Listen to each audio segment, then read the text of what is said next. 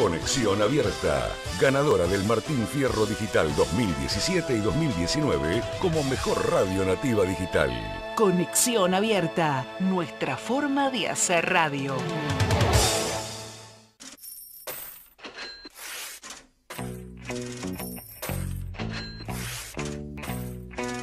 Economía, marketing, publicidad, ideas para que puedas concretar buenos negocios mientras disfrutas de la mejor música de todos los tiempos. Ya lo sabes, estás invitado a hacer buenos negocios con Charlie Cohen.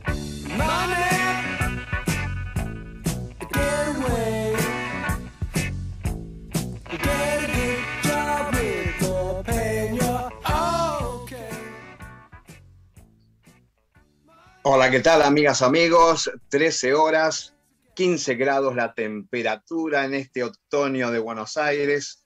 Y bueno, como siempre decimos, este es nuestro encuentro semanal haciendo buenos negocios en el país más difícil del mundo para hacer buen negocio, aunque hay poquitos, es para poquitos los buenos negocios. Pero bueno, eh, hoy es un día muy especial, así que el saludo para todos los colegas, para todos los periodistas, un 7 de junio de 1810, el señor Mariano Moreno hace la Gaceta. Y, bueno, así que nuestra expresión de deseos es que haya libertad de prensa, libertad de expresión, que cada uno pueda expresar lo que siente y lo que quiera decir. Así que sin presiones, sin que estén llamando a los distintos medios. Así que primero para todos los periodistas de Conexión Abierta, a todos los colegas y por supuesto a toda la gente del medio, a todas las radios mayores, menores, medianas, eh, prensa y lógicamente televisión. Así que para todos los medios, feliz día del periodista. Eh, primero le voy a dar el, saludo que está en la zona magia, si no es por Elia no estamos aquí, a Tere Mármol, que es una divina, hoy como es el Día del Periodista, hoy le hinché bastante, ¿eh? pero bueno, y tengo aquí a mi querido amigo, el doctor Alberto Ruscolequiel, que es economista, analista internacional y maestro de la vida. Así que eh, extraño esos encuentros, doctor Alberto Ruscolequier, de todas las semanas. Nos teníamos, eh, nos dábamos un tiempito para un par de veces por semana, más allá del cafecito, eh, un almuerzo de, podemos decir, de hablar de temas entre superficiales y ya también temas profundos. Ya del país eh, ni hablemos, pero bueno, justo, eh, viste lo que es, no fallido, profundo, así que estamos, estamos, profundidad, desde, desde el subsuelo. Te paso la posta, querido Alberto Ruscolequier, feliz día, porque sos también, más allá de economista, sos periodista, así que un, un gran saludo y, y, por lo menos con este medio que podemos, este creador chinito que creó el Zoom, la verdad, chapo. Bien, Charlie, gracias por tus saludos. También te los hago extensivo a vos, gran periodista de eh, Añares. Y a la gente, por supuesto, gracias por acompañarnos, a Telemármol. Y también quiero aprovechar la oportunidad para saludar a la gente que nos sigue de diferentes países de Europa, por ejemplo Italia, la señora María da Grazia Carpenedo, que la verdad que es una fiel oyente, una persona muy, muy inteligente, a quien le damos el cariño enorme. Y aparte, por supuesto, a gente que nos está escuchando en España, en Costa Rica, en Panamá, eh, México, en Israel. Bueno, eh, ya... Eh, te sumo, sumo una cosita justo a mis amigos holandeses que están ahí desde Ámsterdam hoy, que ellos viven en Rotterdam, pero hoy desde Ámsterdam están Kiss e Isabel. El saludo para ellas.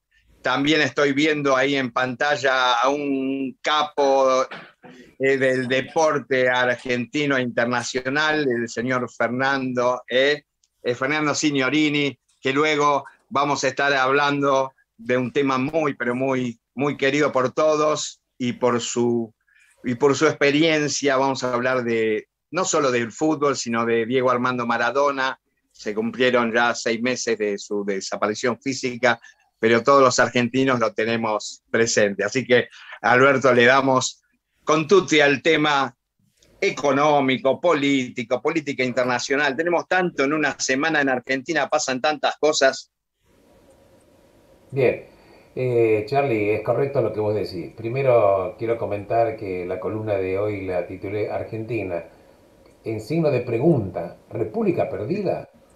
Con lo cual no quiere decir que está perdida, pero es una pregunta. Y uno hace la pregunta cuando ya empieza a preocuparse, preocuparse y formularse cuestionamientos que cualquier persona normal eh, tiene que hacerse. Con lo cual, como siempre decimos contigo, Charlie, que analicemos datos y no los relatos, porque yo siempre digo, las cosas importantes de la vida no son ni de derecha, ni de centro, ni de izquierda, son cosas adecuadas o no son cosas adecuadas, son cosas éticas o no lo son. Empecemos en principio, porque yo digo Argentina, República Perdida? Es una pregunta. Eh, de todas maneras, quiero como gancho para esta introducción, vos sabés que hace dos días terminó la cadencia después de muchísimos años de dirigir la República Alemana, eh, Angela Merkel. Y quiero comentarle a la gente que cuando ella ya terminó oficialmente su cadencia como canciller, recordando a la gente que ser canciller en Alemania no es ser ministro de Relaciones Exteriores, ahí se denomina canciller a lo que es un primer ministro, ¿correcto? Eh, tuvo una ovación en Berlín por seis minutos que la gente aplaudía desde los balcones independientemente del partido político, ya sea de la CDU, que es el partido del cual ella había sido nominada y ejerció el cargo, como incluso por los, eh, las personas que no eran de ese partido, eh, honrando la digna cadencia que tuvo en su mandato, no ha tenido nunca, jamás, una sospecha de corrupción, nunca tuvo una denuncia, sigue viviendo en la misma casa que tenía antes, casa que yo conozco, te quiero comentar, está en Berlín, eh, que sigue viviendo en la misma casa que tenía antes y que cuando le preguntan, por ejemplo, a una periodista, de por qué se viste de esa manera, viste que ella viste de una manera muy austera, y le contesta al periodista, mira, a mí me, eligieron para ser canciller de la República, no para ser modelo. Eh, es una mujer que dice, y así lo hace, reparte las tareas domésticas de su casa junto con el esposo, eh, utiliza la energía eléctrica para lavar a la noche porque es más barata, de acuerdo a la cadencia horaria, y eso es una persona, una figura que dirigió la economía más importante de Europa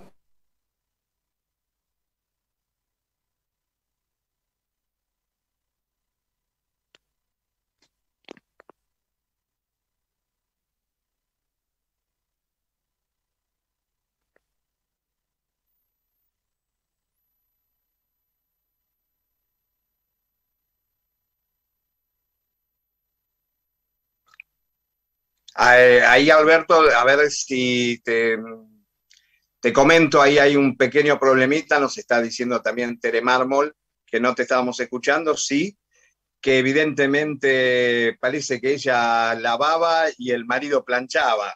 Ese, por ahí quedamos. ¿eh? así que, eh, a, ver, a ver, Alberto, si podés restablecer tu, conexión y, de paso ya también, eh, mientras tanto, lo saludo al señor que haga clic a su, a su micrófono, eh, al señor Fernando Signorini. ¿Qué tal, Fer? ¿Cómo estás? Hola, Charlie, buen día. Muy bien, muy bien. Bueno, bueno, eh, bárbaro va a ser que hoy, luego del programa, la tardecita, porque al final eh, pintó, no hay un sol fuerte, brillante, pero con 15 grados, en nos, nos tomaremos un café en la esquina. Cuando haya un sponsorio, el famoso canje pero hoy invito al café, me toca el saludo para, para un amigo en común, vecino también, a Juan Venegas, que hizo posible también este encuentro, ¿no? Contigo. y por más que más de alguna vez eh, estuvimos charlando por, por radio, otra radio eh, compañera mayor de Radio La Red, con Fer Mancini. Así que es, es un gusto tenerte. Ahí se está restableciendo justo la, la conexión con Alberto Ruscoli. ¿Qué son las cosas que están pasando? Porque de pronto hoy está viendo uno un canal de televisión abierta. Esto, Fer, vos que viviste en Europa mucho tiempo, acordate que, bueno, estando en Europa uno podía ir a un teléfono público de la calle, de cualquier teléfono, y hablabas a Buenos Aires. Pero en Buenos Aires era un hermoso despelote conectarse, ¿no? Así que eh, yo recuerdo que mis viejos tenían que ir a la central de Telefónica o Telecom en ese momento, eh, que tampoco era Telecom, era Entel, para poder comunicarse con España. Así que es, es un gusto y apareció Alberto de nuevo, ¿viste? Son las cosas, hoy me voy a quejar con el chinito, eh, que creador del Zoom, pero si está pasando en canales de televisión abierta que utilizan el mismo medio, que se quedan fritos, que se queda fritada la imagen y todo esto, ¿por qué no nos va a pasar a nosotros? Así que... Absolutamente. Eh, y sabes un tema que tiene que ver con la economía, que lo estaba escuchando eh, otro, otro personaje que, que, estaba saliendo al aire y que tiene que ver con la economía diciendo, si van a planchar las tarifas, las empresas de telecomunicaciones no van a invertir y en este momento que es tan importante el Internet y estos medios, si vamos a ir para atrás también en eso, eh, va a ser un problema, porque esta es la conexión hoy por hoy en el mundo, más allá de algunos encuentros que se puedan llegar a hacer, por más que hoy por hoy, si aunque uno quiera ir para, para Europa, en estos momentos con la que tengo yo, no puedo ir para España, que tengo una invitación. Eso sí, eso sí, eso sí. Eh, bueno, te quiero comentar que continuando con lo que estamos hablando, si me estás escuchando. Ahora sí, sí, hacía eco, pero ahora está bien. Continuando con lo que estamos hablando, es que la verdad que el manejo de sanitario, desde el punto de vista sanitario de la pandemia fue malo. Fíjate vos que pasados ya los primeros meses que uno puede entender, Argentina sigue testeando poco, no está haciendo sí. control de los contactos cercanos y la vacunación sigue siendo nimia, nada.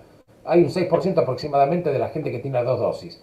Y desgraciadamente el gobernador de la provincia de Buenos Aires manda un mail a la gente diciendo que no se preocupen si le falta la segunda dosis porque hay un plazo mínimo para hay un plazo mínimo pero no un plazo máximo.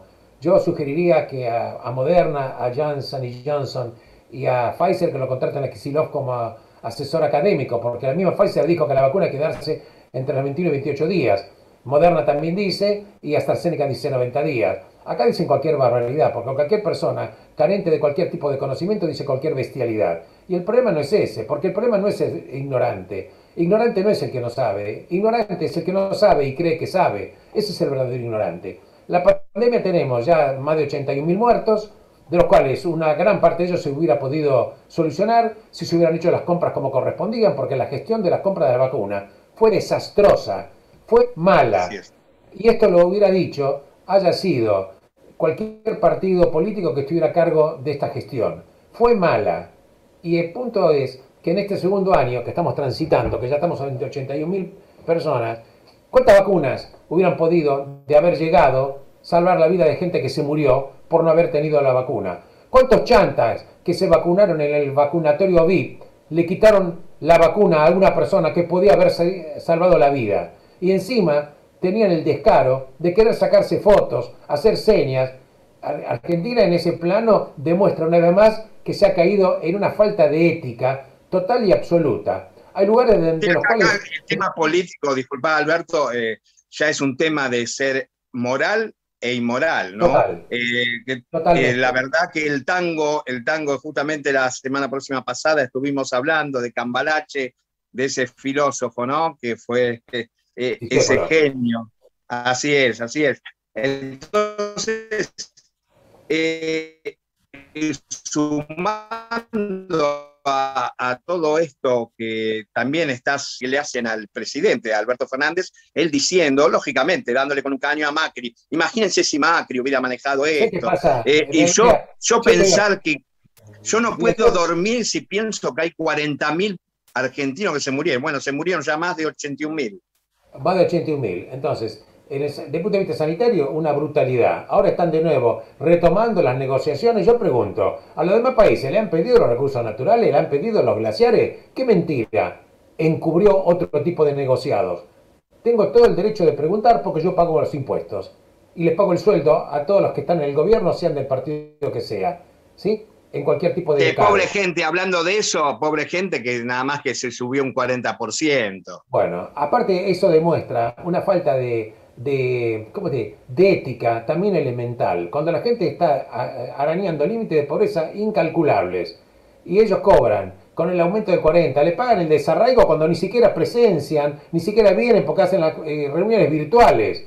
¿Cuál es el desarraigo? Son unos chantas, es una vergüenza. Y esto hay que decirlo, lo aprobaron todos los bloques políticos. La crítica es hacia todos los que han votado, o sea, hacia todos los políticos que han votado esta locura. Vos fijate el tema de política exterior. Argentina aliado en las votaciones con lo peor del mundo, con Cuba, con Venezuela, con Irán, condenando, por ejemplo, a Israel por haberse defendido de un ataque misilístico, eh, no distinguiendo entre una organización terrorista como es Hamas con un país democrático como es el de Israel. Y no quiere decir que Israel sea un país perfecto, es un país con cosas buenas y cosas malas. Pero eh, alinearse con lo peor del mundo, esto habla, eh, de acuerdo a los amigos que tenés, habla un poco cuáles son tus intereses. Y el problema que está teniendo Argentina es que como ha perdido el paradigma de ni siquiera sabe, porque la verdad, Argentina venía ya de tres años de recesión, no crece hace diez años, y te vuelvo a repetir, si vos comparás el Producto Bruto de Argentina de 1980 y lo deflacionás, porque el dólar también tuvo una inflación anual, Argentina creo que está teniendo un 30-40% del PBI en dólares constantes del que tenía 40 años atrás. Esto es lo que hay que entender. ¿Por qué la carne es cara? ¿Por qué todo es caro? Porque la verdad es que los sueldos son una basura. Porque Argentina tuvo el milagro de que es pobre incluso el que tiene trabajo. Porque el que tiene trabajo tiene sueldos que son de mendicantes. Porque Argentina tiene una estructura económica que hay que volverla a armar. Si a eso encima le agregás el franeleo y el toqueteo que hacen con respecto a, la parte institucional, yo pregunto, habría que eh, reunirse a los partidos más importantes y hacerse las siguientes preguntas. Maxi me lo voy a decir esto después del discurso lamentable que tuvo en el foro de San Petersburgo, lamentable la participación de Alberto Fernández. Cuando dice que hay que replantear el capitalismo, bueno, le quiero recordar a Fernández que él fue una de las personas que estaba en el gobierno cuando estuvo Menem y Caballo. ¿Ok? Que hay que tener memoria. Segundo, si vamos al, al dato del capitalismo, tenemos que decir, Argentina va a ser o no un país capitalista, lo cual no quiere decir que el capitalismo es perfecto ni que tenga errores, y no, que, no quiere decir de que hay que hacer cierto tipo de ajustes para no olvidarse de los desvalidos. ¿Qué duda cabe? Tiene que tener un rostro humano. Pero si vos te pones a pensar, ¿cuáles son los países capitalistas? ¿Cuál es el sueldo promedio que tiene Suiza? País capitalista, 8 mil dólares mensuales. ¿Cuánto tiene Estados Unidos? Más de 4 mil. ¿Cuántos son los sueldos que tiene Cuba en promedio? ¿Cuántos son los sueldos de Venezuela? Tres dólares y medio por mes. ¿Cómo viven no sé qué hacen con tantos dólares en Venezuela. Tres dólares y medio por mes. Estos son, estos son el populismo y la izquierda caviar, que son unos ignorantes. Porque si el discurso lo hace para quedar bien con Putin, le quiero recordar a las autoridades argentinas que Putin no es comunista, ¿eh? que Putin restauró el oficio religioso de la Iglesia Ortodoxa rusa, del cual es creyente, y no lo critico, absoluto, lo estoy comentando, porque acá parece que algunos setentistas que se quedaron con canas, pero con, fuera, de las ideas, que aparte de olvidarse que la cortina de hierro terminó en el 89, Rusia no es comunista. Y que China, además de no respetar los derechos humanos, en la parte económica se maneja con un criterio capitalista. A veces nos entendemos. No seamos idiotas. No seamos idiotas, no seamos ignorantes, porque el mundo se ríe de Argentina. Yo les invito a la gente a que lean las páginas de lo que se publica de la parte económica de Argentina en el exterior.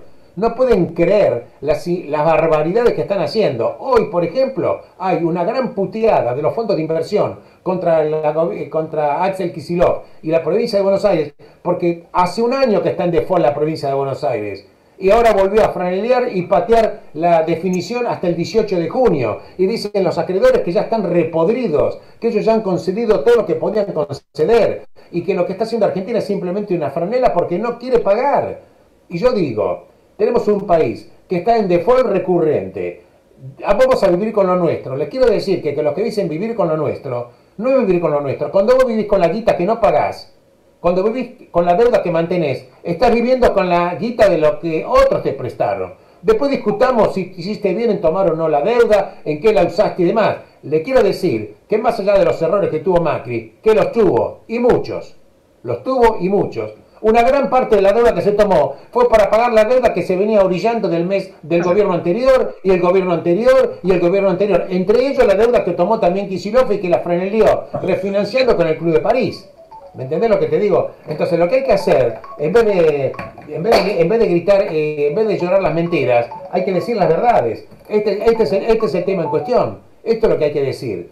¿Me entendés? Eh, bueno, Yo con esto quiero decirte simplemente que los países tienen salida, que Argentina tiene salida. Ahora estoy leyendo nuevamente que parece ser que va a venir nuevamente el gas, el barco eh, gasificador. Porque como todos los problemas que tiene Vaca Muerta, ¿me escuchás Charlie? Sí, bárbaro. Con todos los problemas que tiene Vaca Muerta, que entre los bloqueos de los, sindicatos, que esto no se puede, aquello no se puede, volvemos a nuevamente importar gas que es carísimo. Argentina está sentado en la segunda reserva mundial de gas, segunda reserva del mundo, y está importando gas. A ver si me entendés, las empresas se fueron. Falabella hoy esta semana termina de liquidar por subasta lo poco que le quedaba acá. Las empresas se fueron. Los que están acá no quieren poner un centavo. Está todo el mundo, todas las inmobiliarias repletas de propiedades que quieren ser vendidas.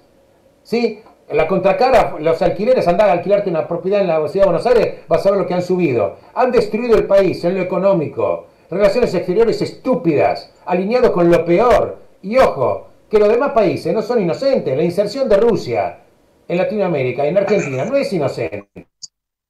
China ya tiene una base militar secreta que nadie sabe lo que está pasando ahí. Y nadie, ningún, ningún político eh, se, encarga de decir, bueno, che, ¿qué está pasando acá? ¿Me captás? ¿Qué, es lo que está sucediendo? Se habla, se dice que es una base, una base espacial. Eso va a ser algo, ¿en, qué lugar estratégico? Bueno, pero ¿qué significa que el propio argentino no puede, no puede entrar y está custodiado por el ejército de China? Entonces, la pregunta es, ¿Cuál es la soberanía? ¿La soberanía de crear más de 50% de pobres? ¿De tener sueldos con los cuales no te alcanzan ni para morirte de hambre? ¿De hacer que la gente coma únicamente polenta? ¿De que la soberanía se edifica cuando tenemos el consumo por carne más bajo de los últimos 100 años?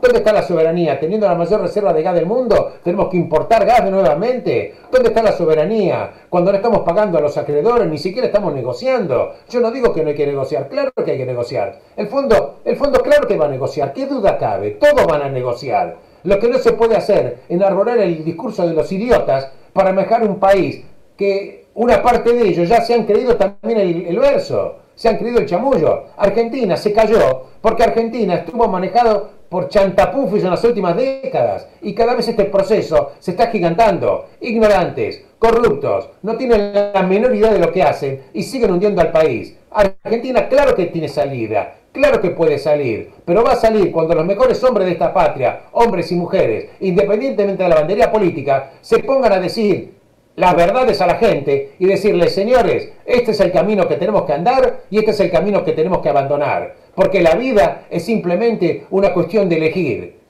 Elegir quiere decir que vos tenés la libertad, pero solamente un camino va a ser el correcto. El que Argentina sigue transitando es el camino que lleva a la Argentina a la decadencia, a la pequeñez y a la insignificancia. Creo que si los padres de la patria se vivieran ahora, estarían queriendo volver a su tumba por ver lo que han hecho de este país. Simplemente ni siquiera se, respeta la Constitución. Tenés un ministro de Justicia que se tiene, tiene como objetivo, declarado por él, echar al, procurador del, Estado. Pero ¿cómo es? ¿Este es el objetivo del ministro de Justicia? Yo no estoy defendiendo a Casal, no sé, que se defienda a él. Pero digo, si Argentina no respeta las instituciones democráticas, si no quiere vivir como una república, si no quiere vivir como un capitalismo, bueno, flaco, díganlo, no solamente que lo hagan, díganlo y que se quede el que se quiera quedar. Yo nací en un país que era una república, que tenía división de poderes y que la constitución se respetaba. porque hay que respetar la constitución? Porque la constitución es el único elemento que le da poder a los que no tenemos poder, que somos los ciudadanos. Nada más que esto, Charlie. Bueno, nada más y, nada menos.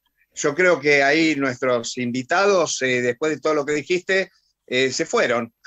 se fueron. No, sé, no sé para dónde, pero sí eh, veo ahí la manito al, querido amigo eh, periodista, feliz día del periodista, él es periodista deportivo y jefe editor de Clarín Deportes, nada más y nada menos, el señor Julio Chapeta. Eh, ¿Qué tal, Julito? ¿Cómo estás? Un abrazo, Julio. Hola, Charlie, muy bien. Este, acá escuchando este, las verdades de, de este, Alberto, ¿no? Eh, realmente el panorama no te dan ganas de, salir de, la cama. bueno, sabemos que, eh, no sé si lo puedo contar, pero bueno, eh, te, aplicaste la segunda, la segunda dosis, de ahí fue Sinopharm, con esa sabés que podés entrar a Europa, ¿eh? Así que está Sí, por sí, sabía, sabía. Bueno, por eso, vos sí. Yo que tengo la Sputnik y, también Alberto Ruscolequier con la Sputnik, no podemos, no podemos ir para Europa. Y, y, a ver, estamos esperando también que se incorpore, que estaba antes el nada más y nada menos que el entrenador eh, profesional más exitoso de Argentina, el señor Fernando eh, Signorini, también amigo tuyo, capo, un maestro, ¿no? Eh, el preparador físico de futbolistas de, de élite, no solo más exitoso del país, podemos decir, más grande de Argentina y uno de los más exitosos del mundo. Y, que tuvo la, experiencia de, de, haber laburado con, con Bilardo y con Menotti, nada más y nada menos. Sí, tamaña este, distinción tiene y aparte es un crack, un amigo, un eh, referente en todo sentido, pero mucho más es una gran, eh, un gran ser humano, una, una, gran persona. Sí, no, no, yo estuve leyendo, bueno, uno, uno de sus libros que en su momento cuando salió y, y, pegó muy fuerte, que fue eh, Fútbol, un llamado a la rebelión, la deshumanización del deporte. Y ahí te felicito. Y Fer, yo dije, bueno, lo escuchó y ya se rajó a Uruguay. Se nos fue a Uruguay y tenemos el café a la tarde, Fer. No, no, estoy, estoy acá. Bueno, bueno. Ahí, ahí están en pantalla, te digo, bueno, yo como estoy con celular, tengo recibo de a, de cuatro invitados, pero es un lujo para mí, para el programa, para buenos negocios, para conexión abierta, que esté nada más y nada menos que el periodista Julio Chapeta. Feliz día de nuevo, Julito querido. Muchas gracias igualmente a todos los periodistas. Eh, una profesión digna este, que tratamos de ejercer eh, con eh, la mejor voluntad y con eh, el mejor conocimiento. Por lo menos así lo entendí yo durante toda mi carrera. Así es, así es. Damos fe y, no solo que sos conocido aquí en Argentina, sino en el exterior también, el respeto que te tienen los colegas. Y bueno, hay que hablar de Fernando Signorini. Justo estaba haciendo referencia, me escuchaste, eh, Fer, eh, con respecto a, a, ese libro, que, que, bueno, que aquellos que amamos el fútbol eh, lo leímos, pero ahí le diste una vuelta de tuerca, ¿no? Con respecto a, a la parte sociológica y, entre comillas, a ese negocio del fútbol, esa deshumanización del deporte. Pero el, el tema que, que hoy nos, no, nos trae, y ahí fue la, la, gran, este, este gran encuentro, eh, un, tipo que amamos todos los argentinos, como, como fue Diego Armando Maradona, se cumplieron eh, seis meses y unos cuantos días, estamos a dos semanas, seis meses y dos semanas de, su partida y, y vos tuviste la, la, ocasión, yo creo, bueno, son los dos. Julio Chapeta es el periodista que más reportaje le hizo a Diego Armando Maradona, y vos estuviste más de 10 años junto al Diego. Entonces hoy queremos rescatar eso y que cuentes algunas anécdotas. ¿Cómo fue ese primer encuentro con Diego y que te dijo, eh, Fernando, ¿qué hacemos? ¿Firmamos un convenio? ¿No firmamos un convenio? ¿Cómo es el tema del preparador físico y, un Diego Armando Mans Diego Armando Maradona? Bueno, ante todo, buenas tardes para todos. Julio, feliz día. Muchas gracias, Fernando. Bueno, sí, en realidad todo, todo ocurrió el 28 de junio del año 83 fue la primera vez que, tuve la posibilidad de, bueno, de conocer a Diego, de hablar con él, y a partir de ahí se comenzó a generar una relación de mucha, de mucha empatía. No hay que olvidar tampoco que Diego era, era un nene, tenía 22 años. Y, y bueno, tras eh, el problema que tuvo el 24 de septiembre en esa fractura tan, tan preocupante como fue la que le produjo Andoni Goicoechea. Eh, Qué patadón, bueno, ¿eh? Hoy creo sí. que no lo dejan jugar más eh, al fútbol, al Vasco. No, pero yo tengo uno, yo, yo creo que fue una, una jugada de, de, con mucha, mucha mala suerte, porque golpes de eso había, hay en cantidad. Lo que pasa es que lo agarró justo en la punta de recorrido de una jugada de mucha dinámica y tuvo la mala suerte que justo, justo le cae y, le, aplasta, le aplasta el tobillo, le produjo una torsión muy violenta que produjo la, ruptura, el desgarramiento en, esa zona.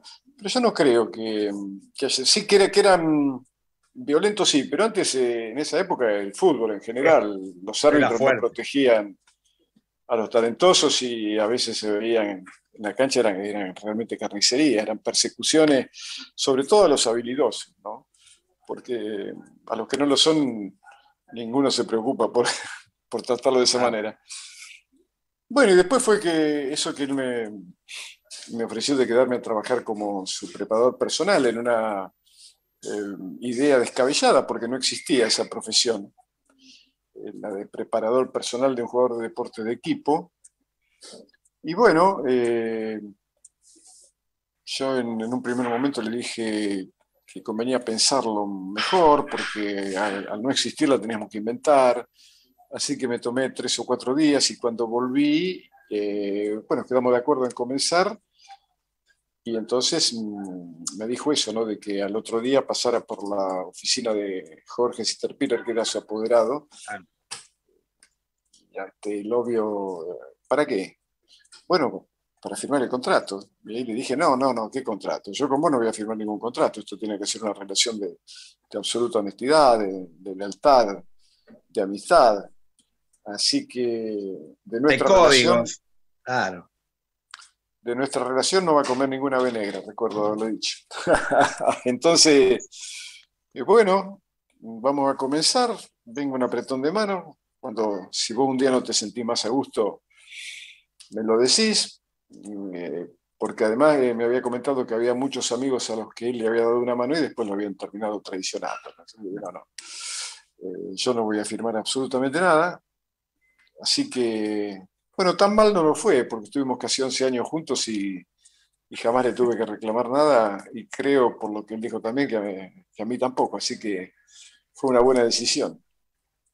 Bueno, porque justo lo, agarraste, bueno, en ese momento tan crucial, eh, que sé que muchos jugadores, ahí sos vos el especialista, que después de una eh, quebrarse así, eh, a mí en lo anecdótico, jugando al fútbol, una doble fractura de brazo y después yo estaba con miedo para jugar.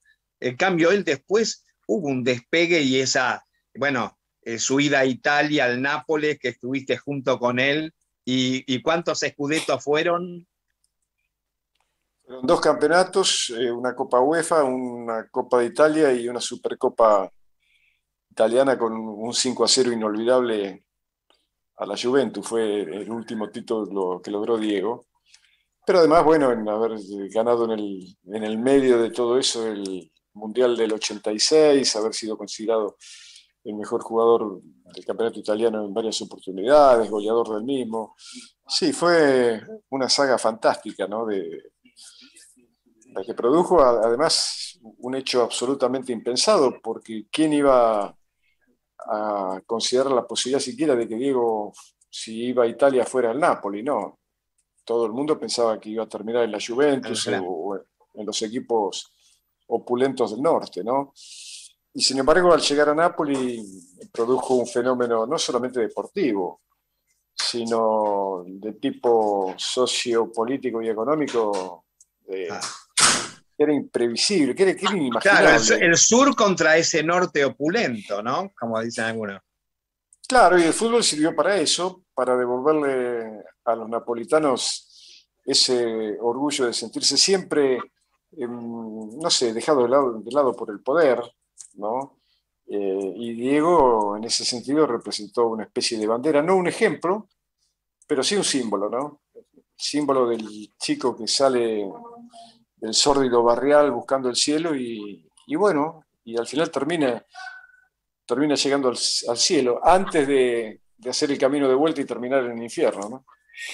Sabes que eh, justo estás hablando de eso y, vamos a pedirle a Tere Mármol, que está ahí en la sonomagia, palabra de mi viejo, eh, eh, el recuerdo para Luis de la Calle, mi querido viejo periodista también, y, ese tema que le dedica, hace poco fueron, se cumplieron eh, el día del cuarteto, ¿no? Y, esa genialidad que escribió eh, ese cordobés, el potro, y la mano de Dios. A ver, la escuchamos un poquito.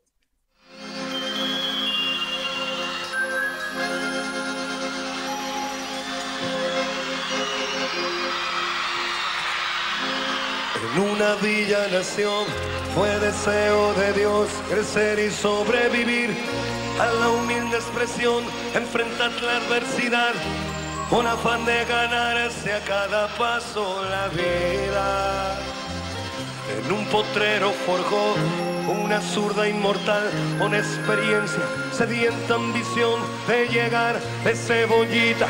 Soñaba jugar un mundial y consagrarse en primera. Tal vez jugando pudiera a su familia ayudar.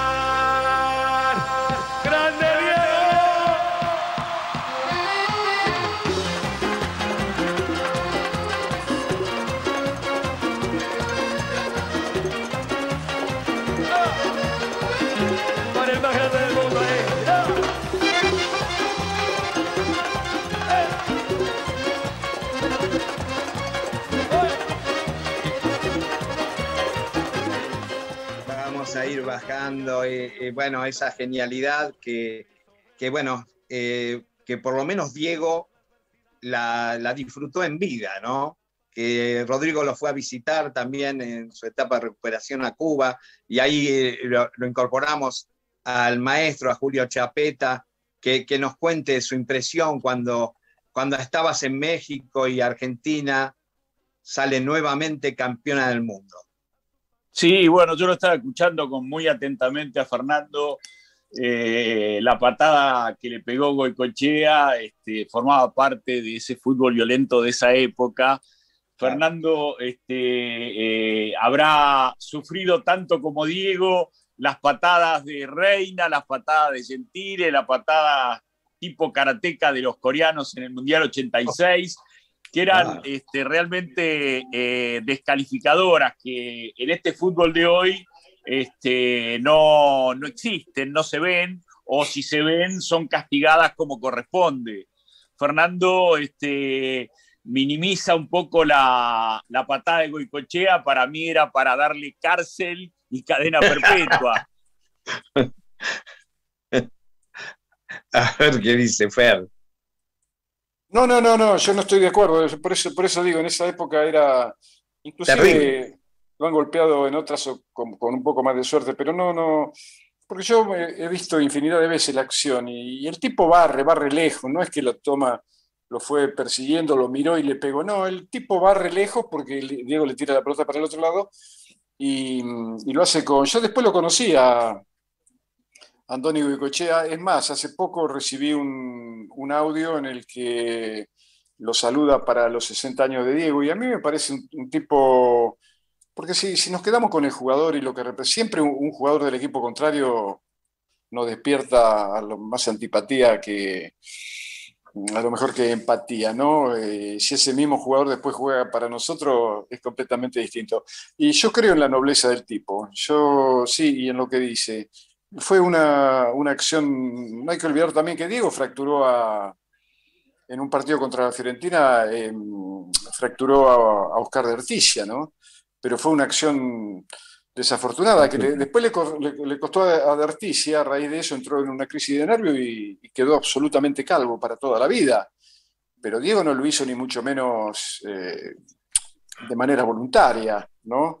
Que fue lo que dijeron algunos periodistas en ese momento. A veces en el fútbol ocurren esas cosas porque es un juego muy dinámico, a, a donde uno a veces, qué sé yo, le levanta el pie, pero no, viene que llegue, no ve que viene otro de atrás. Es muy, muy yo no creo, sinceramente, salvo excepciones que confirmen la regla, en la mala intención de un tipo que va adrede. Eh, puede ser eso, eso de Ruggeri cuando lo quiso, sí. cuando lo quiso tratar con, con, tanto cariño a Chilaver, ¿no? Bueno, sí. sí, pero, pero esos son, son casos excepcionales. El, el jugador de fútbol, eh, en definitiva, mirá que yo he conocido a más de mil y he descubierto en cada uno de ellos que depende también de la manera en que uno se acerque y en la interacción que tenga con ellos, ¿no? Pero eh, son pibes en general de, de, orígenes muy humildes que lo único que quieren es llegar para inventarse una vida distinta y mejor. Pero por lo demás yo he tenido con cada uno de ellos una relación fantástica y, de todo he sacado lo mismo. No, no, no, hay mala intención, salvo, repito, en, en forma excepcional, ¿no?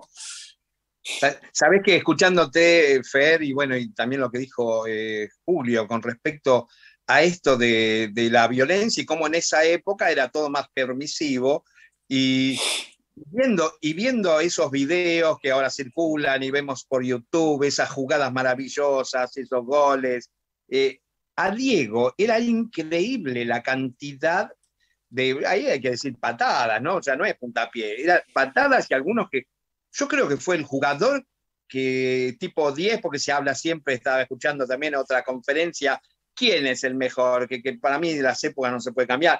Pelé, eh, Maradona, Messi, pero lo que le pegaron a Maradona, yo no vi a ninguno que le hayan pegado así. No sé, Julio, ¿qué opinas? No, no, sí, a Pelé también le pegaron. Este, yo creo que eh, es una cuestión de, de épocas y de fútbol, como dice bien Fernando. Eh, yo le quisiera preguntar a Fernando, si me permitís, Charlie, Por favor. Este, algo muy, muy personal. Eh, si pudiste asumir, si pudiste hacer el duelo, si pudiste este, poner en, situación que, ya Diego no está con nosotros, que es algo que a mí me está costando muchísimo. Sí, lo, que pasa es que yo, a mí sinceramente lo que más me extrañaba es que siguiera vivo, ¿no? Después de una vida tan exagerada. Yo en cierto sentido mm, lo esperaba, era, era irreversible y el final era cercano. Yo después de haberlo visto ese día de su cumpleaños llegar a la cancha de, gimnasia, recuerdo que hablando con un amigo, en el mismo bar donde nos juntamos siempre, también con Charlie, le dije, ya está, ya está, le queda poco tiempo. No, Parecía un abuelo, ¿no? Qué, qué imagen triste que fue. Sí, además yo creo que había en él, sobre todo en, en esa manera de, su mirada vacía, sin, ya está, ya está, ¿para qué voy a seguir? yo creo que él también caminó un poquito hacia el abismo, ¿no? Ya no, no soportaba más la ausencia también de, sus padres, todos los problemas, que, los dolores, los dolores brutales. y la pandemia, ¿no? Este, no nos olvidemos de eso, porque eh, eso le impidió estar en contacto con, lo que más él quería, que era la pelota y, el césped.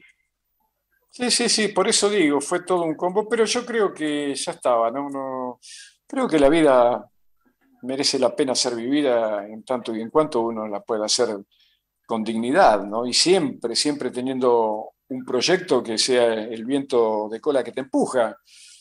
Si no, no, no creo, sinceramente. No. Bueno, habría que entrar ya a discutir en temas filosóficos para explicarse cuál es en realidad el sentido de la vida, ¿no? Pero, pero es así, yo creo que, Diego estaba... Habló Charlie al principio, Fernando hablaba de, rebelión, de la rebelión, este, de, tu libro que lo, leí, este, y hay algo eh, que me gustaría preguntarte con respecto a, esta situación eh, del fútbol en esta parte del continente con eh, esta, no sé si llamarla bendita o maldita Copa América. Este, ¿Vos crees que los jugadores tienen que rebelarse contra eh, las organizaciones para no jugar o este, aceptar como hizo Argentina eh, la disputa del torneo? No, bueno, yo creo, claro, sí, sí, que de una vez por todas los jugadores tienen que dar un paso adelante. Ya lo intentó dar Diego en el 86 en México. Yo creo que hoy mismo, si él estuviera en esas mismas condiciones, hubiera levantado la voz y le hubiera dicho, nosotros no jugamos. Pero creo que también, mm, no sé, que el, gremio de jugadores, por ejemplo, que no se expresa, se supone que está para, defenderlos, y también los organismos del Estado. Creo que el Estado tiene mecanismos como la Secretaría de, o el Ministerio de Salud Pública de la Nación, también el Ministerio de Cultura, porque el fútbol es un hecho cultural, y también el Ministerio de Deporte, para decir, eh, no señor, eh, nosotros no vamos a... ¿Por qué? Porque, por ejemplo, el, Ministerio de Salud Pública es eh, teóricamente quien está a cargo de, poder ayudar a que cada uno de los habitantes de este país goce de la, de la, mejor salud posible. ¿no? Y en este momento los jugadores van a arriesgar, no solamente ellos. No se olviden de que contagiado por el plantel falleció el el chofer del micro de River.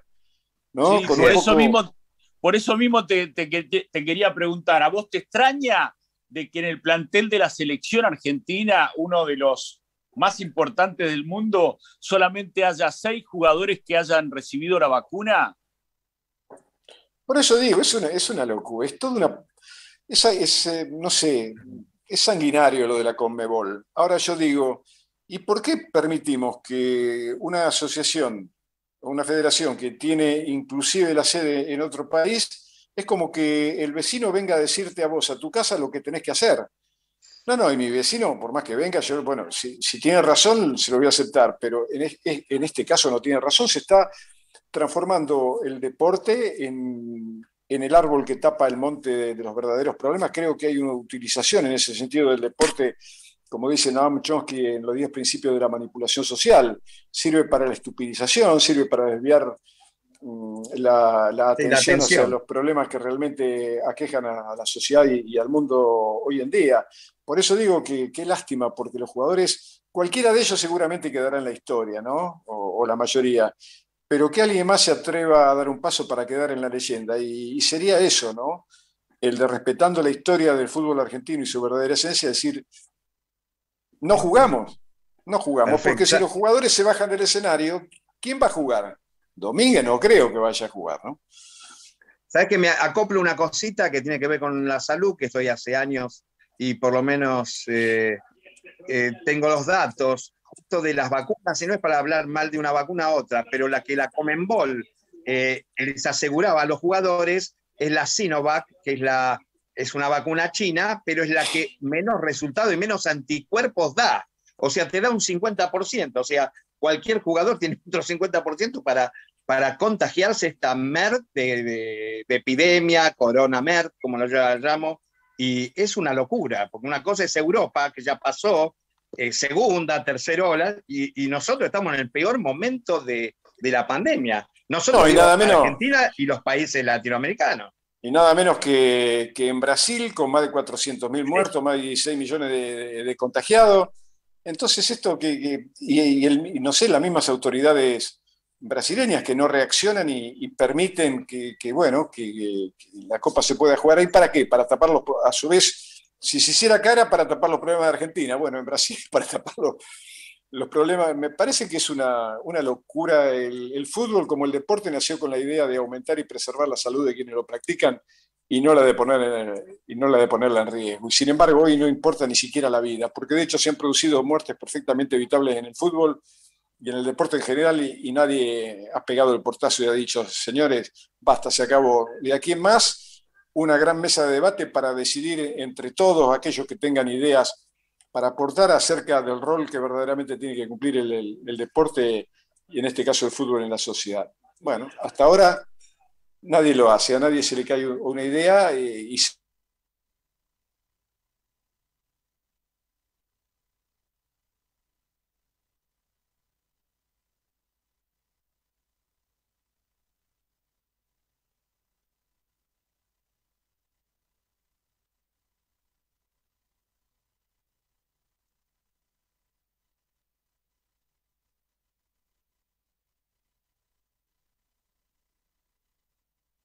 estamos no, en, un café virtual, es una mesa de amigos. Estaba escuchando con, muchísima atención lo que decía Fernando y le quiero preguntar, eh, ¿qué extraña de, Diego? De, del Diego, no de, este último Diego, sino del Diego picante, del Diego este, más eh, vigoroso, del Diego eh, contestatario, del Diego rebelde.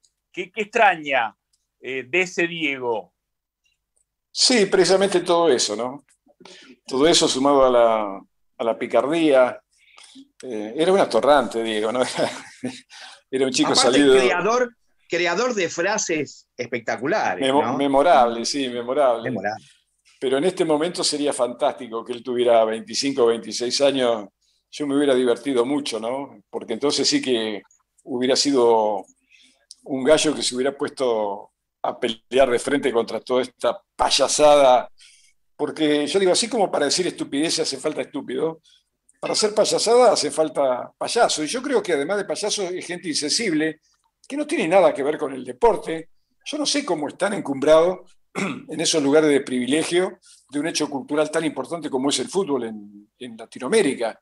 Y sin embargo ellos están ahí y hacen lo que hacen y dicen lo que dicen y los jugadores mientras tanto se callan y el gremio no dice absolutamente nada. Y repito, tampoco el Estado toma participación. Entonces, creo que hay que, hay que barajar y dar de nuevo, ¿no? Pero de Diego extrañó absolutamente todo. De Diego, no de Maradona. De Maradona extrañó pocas cosas. Decime, este, cuando lo llevaste a Fiorito antes de su último mundial, eh, este, qué cara te puso, ¿no? Sí, Cuando lo llevaste a, entrenar a, La Pampa, ¿era? Claro. A Buenos Aires. No, no, en La Pampa, además era. La Pampa. Era La Pampa, pero en un campo a 40 kilómetros de Santa Rosa, en medio del océano verde, ¿no? Bueno, pero él me había dicho que el, lugar lo tenía que decidir yo y, lo elegí precisamente por eso, porque las otras opciones que teníamos tenía, estaban muy cerca de Buenos Aires y yo sabía que ahí eso iba a dar lugar a la llegada de, todo el enjambre, ¿no? De, del periodismo, del jet set, de la farándula, y yo sabía que Diego necesitaba la mayor intimidad posible, la mayor paz exterior para también poder encontrar él la paz interior, porque si no todo eso lo iba a confundir. Y cuando llegó, claro, me, reprochó por haberlo llevado a donde lo llevé. Entonces yo le dije a don Diego, ¿y este quién es? ¿Es hijo de Anchorena, don Diego? Pero la pasamos muy bien y, después no se quería ir. No se quería ir porque fueron 10 días maravillosos en que en el que... Mm, Volvió a ser Diego.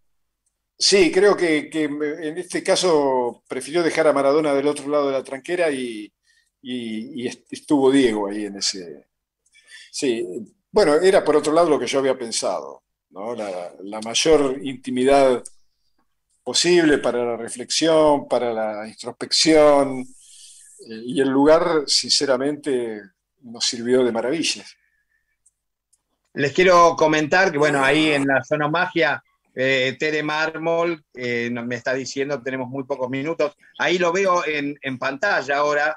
También a Fabián Manchero, que es el encargado del segmento de turismo. Sabés que, Fabi, nos quedamos, nos quedamos materialmente sin tiempo, pero sí por lo menos la oportunidad de, de saludar al profe Fernando Signorini y a Julio Chapeta.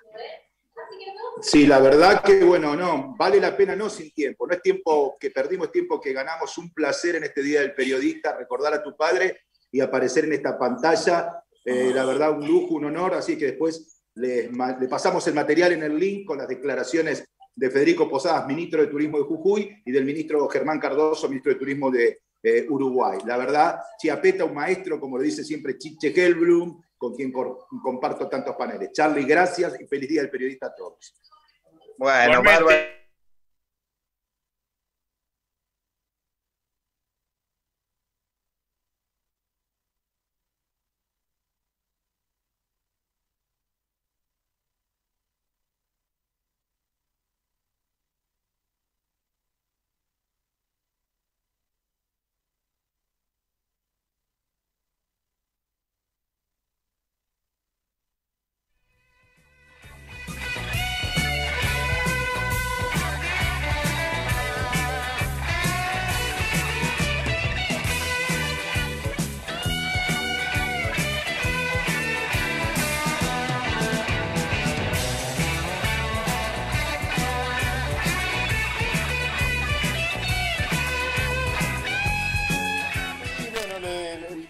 Dio una sugerencia ¿no? acerca de que seguramente era el maestro que le estaba trasladando a su alumno más aventajado lo mismo que otros maestros en el pasado le habían transmitido a él, ¿no? Esto, eh, por eso digo que muchas veces cuando se habla del futbolista, y, hay mucha gente que lo hace de manera tan, tan poco respetuosa, y no conocen que sinceramente el fútbol es un hecho cultural, una construcción cultural de las clases populares, y todos los que están involucrados en él tienen ese sentido de solidaridad, de nobleza. Entonces Diego le estaba diciendo, mira, Leo, no le saques el pie tan rápido a la pelota, porque si no ella no sabe lo que vos querés. Eh, simplemente eso, ¿no? ¿no ves? Mirá. Entonces le pegó y la clavó en el ángulo arriba del arco de Carrizo.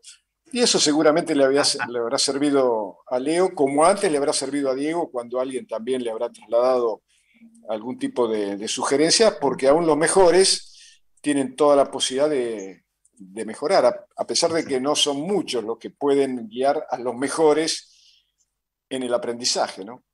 Y a pesar de todo lo que se dijo y de las cosas que, se dijeron, este, me parece que eh, había una relación afectuosa o afectiva entre los dos y creo que en el último partido de la selección quedó en evidencia, este, ya igual eh, había quedado demostrado cuando se sacó la camiseta del Barcelona y, se, y quedó con la de Newell que le había regalado Diego, pero en el partido de Santiago me parece que también fue este, un festejo a lo Diego el de, el de Messi. No sé si a vos te pareció lo mismo. Sí, claro, porque entre ellos dos eh, existía así una, corriente de, afecto. Yo no, eh, que, a mí me resultaba maravilloso no ser testigo tan cercano en el Mundial de, Sudáfrica. Me imagino. De, hecho, Diego siempre, siempre decía, ¿no? A mí, me hacía reír porque decía, no se puede creer lo que juega este enano. Yo decía, ¿vos qué te crees? ¿Vos, te crees que son granaderos? Sí, medio a la misma altura, ¿no? Pero a su vez Leo, Leo tenía por Diego también un, no solamente el afecto, eh, sino esa admiración por, por esa especie de, de tótem que estaba parado delante de él. Eh, y bueno, y, haber comprobado que también sus condiciones, la magia eh, de su juego lo haya llevado a un lugar de preponderancia en la historia total del fútbol, para mí es, maravilloso porque además es un chico, es un chico muy, muy querible, es un pibe fenomenal el lío, ¿no? Bueno, bárbaro. Amigos, ya, ya ahí, ya ahí Tere me está diciendo que nos despedimos, nos despedimos eh, desde ya al periodista Julio Chapeta, al periodista Fabián Manchero y a vos, eh, me dice cerrando, porfa, sí, estoy cerrando, y a vos, eh, Fernando Signorini, las gracias, honraron el programa en este Día del Periodista en Argentina. Fue maravilloso y espero que, bueno, que antes de fin de año tengamos otro, otro encuentro. Fernando y Julito, ¿eh? Gracias. Muchas gracias, Charlie. Abrazo, Fernando. Abrazo, Fabián. Igual, Julio, Charlie. Bueno, nos tomamos el cafecito, pago yo a la tarde. Macanudo. Voy a estar esperando.